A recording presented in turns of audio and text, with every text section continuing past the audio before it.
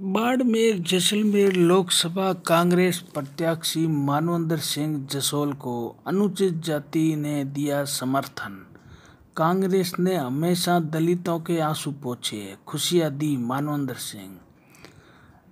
बाड़मेर लोकसभा क्षेत्र में कांग्रेस प्रत्याशी मानवेंद्र सिंह के समर्थन में मसूरिया कॉलोनी में अनुचित जाति सम्मेलन का आयोजित किया गया, जिसमें मानवेंद्र सिंह, राजस्व मंत्री हरीश चौधरी, हेमाराम चौधरी, जैसलमेर विधायक रूपाराम धंधे, विधायक मेवाराम जैन, चौटन विधायक पद्माराम मेघवाल, जिला प्रमुख प्रियंका मेघवाल, प्रधान धनाऊ भगवती मेघवाल, सुरताराम मेघवाल सहित कई नेता उपस्थित रहे सम्मेलन में। सभी अतिथियों का भव्य स्वागत किया गया।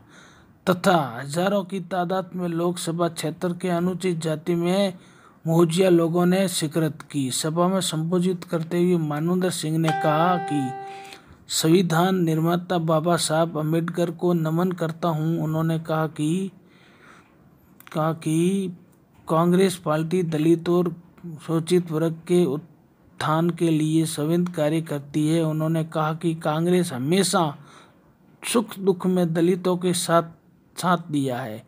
आँसू पहुँचे तो सुख में खुशियाँ की सौगात